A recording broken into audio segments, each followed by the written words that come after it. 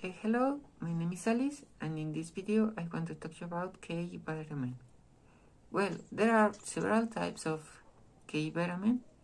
Uh, there is K1 and K2 and K2 has further subdivisions like MK4, MK7 and a lot more. But well, the the difference is that we can find K, K1 in green and K2 in fermented foods and animal foods like Asian cheese or uh, chicken and beef liver. They have different functions according to the type.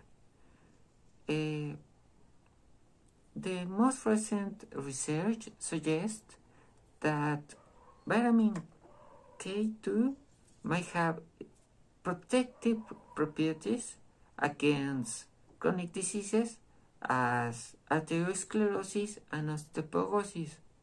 So it's crucial to get enough K2.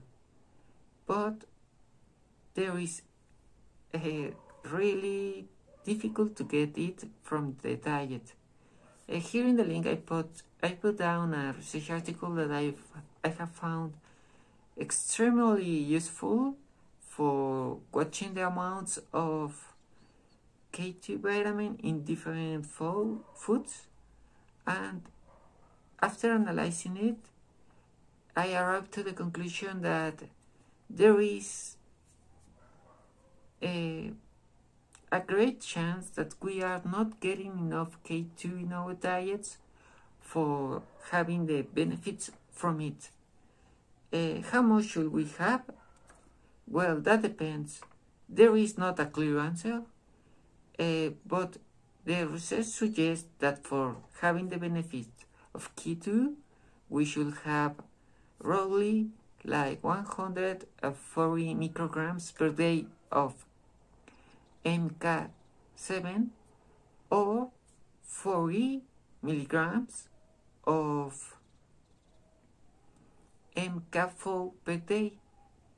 Uh, now, if you do the math, uh, you will find that uh, the amount of MK4 required is very hard to get and we can get enough MK 7 if we eat like like 100 grams of Asian cheese of the gold type because the amount of MK2 sorry the amount of K2 vitamin depends a lot of how the cheese was fermented. So there are very specific types of cheese that have a high K2 amount. These cheese are Gouda, uh, Edam, Camembert, and another ones in the list. Uh, I suggest you to go and see, um, find the one that fits you better. Uh, you must have an account that having these cheeses, it's a lot of saturated fat to the diet.